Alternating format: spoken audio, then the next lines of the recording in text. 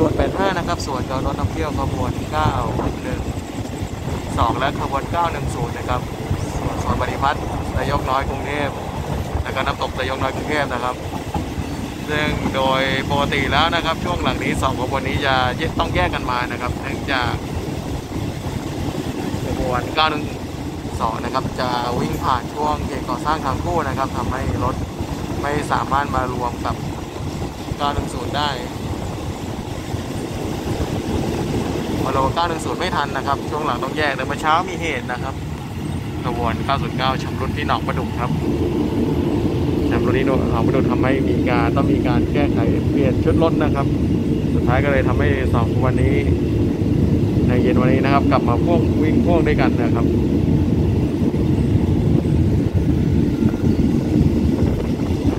ซึ่งในอดีตนะครับสองขบวนนี้เวลาขากลับก็จะกลับมาด้วยกันนะครับถึงจะมีการกำหนดเวลาให้ ถึง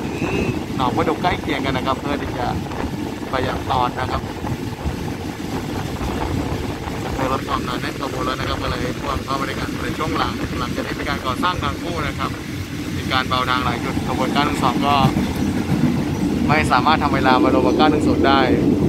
ยกเว้นวันนี้นะครับที่เป็นเคสพิเศษ มีเหตุขัดข้องกับขบวน909 ก่อนนะครับ ขบวน909วันนี้ล่า91ล่าช้านะครับแล้วก็910 910ก็เลยล่าช้าไปด้วยอะ